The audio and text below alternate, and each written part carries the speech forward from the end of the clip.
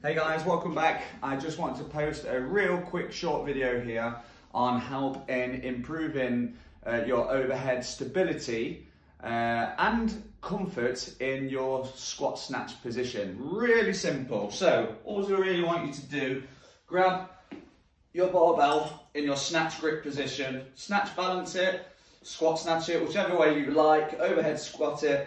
All we want you to do is sit in this position solid squat snatch catch position and accumulate five minutes of holding the barbell overhead in this position. Nice and simple, guys. Okay, that will hopefully improve your stability in the bottom of your squat snatch and the comfort of it. All right, get to it.